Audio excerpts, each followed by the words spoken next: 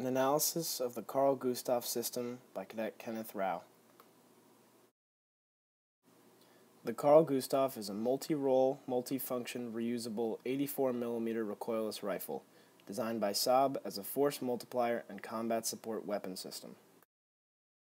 The Carl Gustaf uses a multitude of ammunitions to perform specified tasks, including high explosive anti tank rounds, nicknamed heat rounds, that help penetrate protected and armored vehicles, anti structure rounds that specialize in the destruction of buildings, firing smoke and illumination canisters to support ground unit movements, and anti personnel rounds that are capable of point detonation and delayed impact, allowing the round to pierce a wall or bunker and explode on the inside.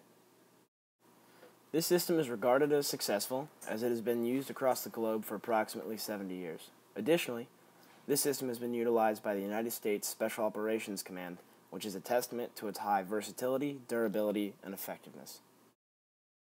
This system is classified as a physical system, specifically non living and man made.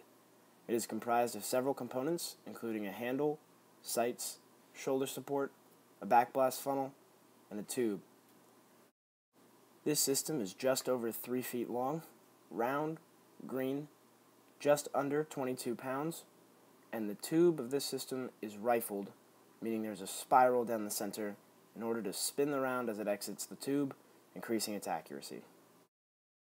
This is an open system as it interacts heavily with its surroundings. Temperature, precipitation, wind, humidity, and many other external factors all interact with the system and determine how it will perform. Additionally, the act of firing a round from this system can be described mathematically using a series of equations, including the equations for force, gravity, and horizontal and vertical displacement. This system can be observed through a multitude of different perspectives. From a black box perspective, basic function is that a round is in place in the system and it comes out effectively. Gray box, open the loading hatch, put a round in, close the loading hatch, disengage the safety, pull the trigger, and fire an effective round. From a white box perspective, there's not enough information present. The manufacturer keeps this information and specifications to themselves. In terms of spatial arrangements, this system is broken down into four levels, starting with the meta system. The Carl Gustaf belongs to a family of recoilless rifles and combat support weapons. As a system, there are several models of the Carl Gustaf, starting with the development of the M1 in 1948 and currently on model M4.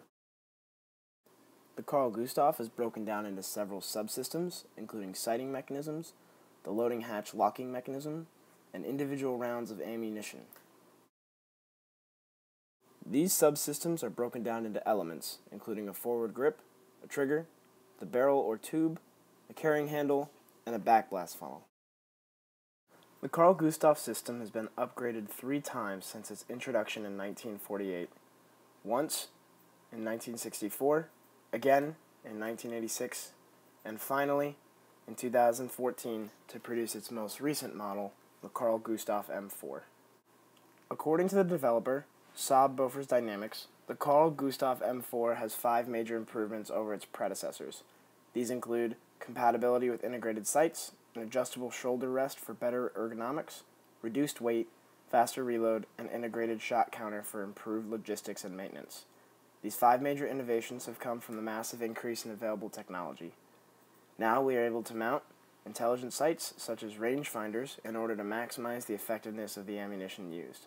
Additionally, better computer aided design programs have allowed for several models to be digitally created and tested without ever having to construct a physical model or prototype. Finally, Producers have listened to the needs of the customer and integrated a shot counter to create an easy threshold for system retirement. The systemogram begins with ground soldiers who see an enemy and prepare to engage that enemy with the Carl Gustaf. Upon opening the hinged loading hatch, the Carl Gustaf is ready to be loaded. Soldiers will load one round, at which point the system will be loaded, and close the loading hatch for the system to be ready to fire. Soldiers will then disengage the safety and fire, resulting in one of two outcomes either destroying the enemy or not destroying the enemy. If the enemy is not destroyed, soldiers will re engage with the Carl Gustaf. The system's boundary diagram depicts how this Carl Gustaf system takes the inputs of ammunition and a target and transforms them into the outputs of an effective projectile fired and the target destroyed. It does this through the trigger activating a firing pin within the system, the firing pin detonating the primer of the ammunition, primer igniting a main charge. The projectile is then propelled by gases being expelled out the rear of the system, and the projectile is then spun by the rifling of the barrel. Additionally, internal feedback is witnessed through the round counter and trigger reset, and the external feedback is witnessed through soldier reviews and visual confirmation of target destruction. The need for this system arose when light infantry and dismounted forces needed a high performing, accurate, reliable, reusable, recoilless rifle in order to effectively engage dynamic and diverse enemies. The risks at this stage in the system life cycle are cost, as it might not be advantageous for producers to develop, and technical, because it might not be possible to create a system that can incorporate all the needs of the consumer. The stakeholders for this stage in the system life cycle are producers and consumers. In order to develop a systems concept, the producers attempted to transition most, if not all, of the needs of the customer into a feasible model. The risks associated with this step in the system life cycle are cost and technical, and the stakeholders are soldiers, the developer, and investors. In order to design and develop this system, the manufacturer and creators began to transform the ideas and thoughts about how the system should operate into real life. They ran initial tests, checks, and simulations of prototypes to create the best system possible for the task at hand. For instance, designers evaluated the advantages of certain rifling ratios, metals to use, and what can be trimmed off the system to lighten it while keeping it accurate and effective. The risks associated with this stage of the system's life cycle are technical as fitting all the pieces together from the system may not fit and may not be feasible or possible, and programmatic as the alteration or removal of one component of the system could cripple the system and bring the entire manufacturing process to a halt or completely back to the drawing board. The stakeholder is Saab. During the production and deployment stages of the system lifecycle, the producers began actual manufacturing and testing of the system as well as acquiring contracts for the system they've produced, at which point they then ensure that the system arrives to their destination. There's a technical risk associated with these stages of the system life cycle, as production may not produce the system as initially intended, as well as scheduling risk, as you may encounter shipping issues and unexpected delays throughout production. The stakeholders continue to be soldiers and Saab as well as investors. Soldiers began using and operating the Carl Gustaf system for its intended purpose as an effective combat support system.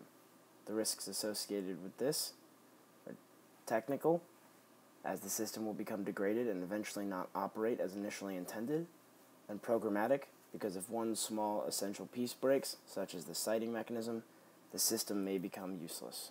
The stakeholders are soldiers and ground forces who are utilizing this system. In order to retire the system, the producer will create a new system in order to phase out the current system with a newer and more effective model. We see this through the progression from the M1 to the M4 model of the Carl Gustaf. The risks associated with this are in scheduling, as it could take too long to phase out or phase in a new model, and cost, as it could be too costly to produce a new system. The stakeholders are soldiers and Saab. These are the sources I use to analyze the Carl Gustaf system.